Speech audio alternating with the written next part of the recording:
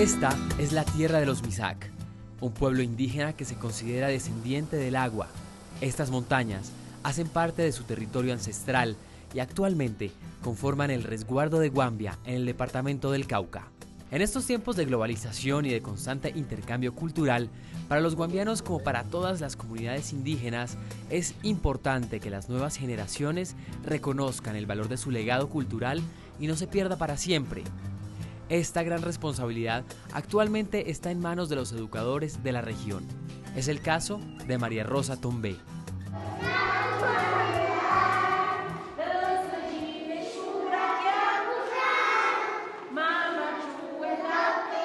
Profe, ¿qué actividades estaban realizando cuando yo llegué? Estábamos cantando. ¿Y por qué cantar, digamos, en idioma Wam? Mm, Pues es importante cantar en idioma Wam porque pues está en estos últimos tiempos se está perdiendo la lengua. ¿Tiene de pronto alguna anécdota que le haya pasado? Sí, hace precisamente en este mismo sitio, hace siete años, en el, en el 2007, pues me llegaron un grupo de 20 niños y de los 20 niños una niñita como esta era la única que hablaba la lengua materna, mientras los demás amiguitos se burlaban. Entonces eso fue para mí fue como un golpe muy duro. Entonces ahí fue donde me motivé a hacer, eh, a trabajar la lengua materna. Profe, ¿qué otras estrategias están implementando para que el idioma Wam no se debilite y se fortalezca cada vez más en todos los niños de, de la región? Pues eh, otras estrategias es la, la poesía. Entonces, en- por lo menos para el proyecto de esta semana, eh, precisamente para el día de hoy, está programado eh, una poesía dentro de, dentro de las actividades de, de este día.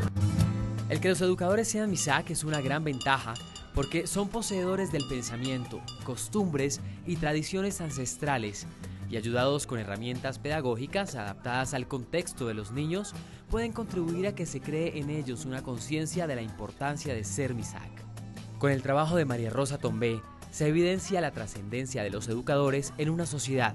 Para los Misak, su labor es vital. Profe, me dijeron que hay un sitio que se llama La Nevera. ¿De qué se trata? Es un espacio pedagógico donde permite desarrollar otras actividades importantes con los niños. Entonces, allá hay muchos cu- cultivos y se puede desarrollar ahí unas eh, clases integradas de ciencias, matemáticas, sociales, eh, en fin. O sea que vamos a ir a pasar muy rico ahora. Claro, vamos, lo, lo invitamos a que conozca. Venga, pues, ¿a dónde vamos a ir, muchachos? ¡A la huerta! Eso, pues, venga, pues, vamos. Vamos, vamos, vamos.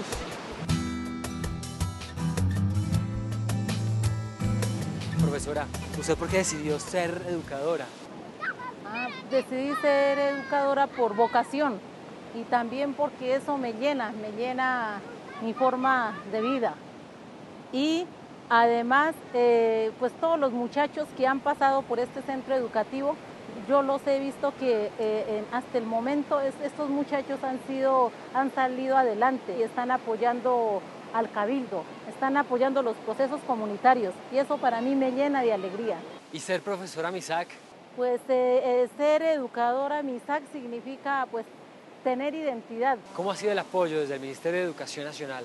El apoyo del ministerio pues de alguna manera eh, pues ha sido positivo en cuanto a las eh, desde el 2010 eh, nos está apoyando en la construcción del eh, con un financiamiento pues no no muy alto pero en la construcción del plan educativo guambiano.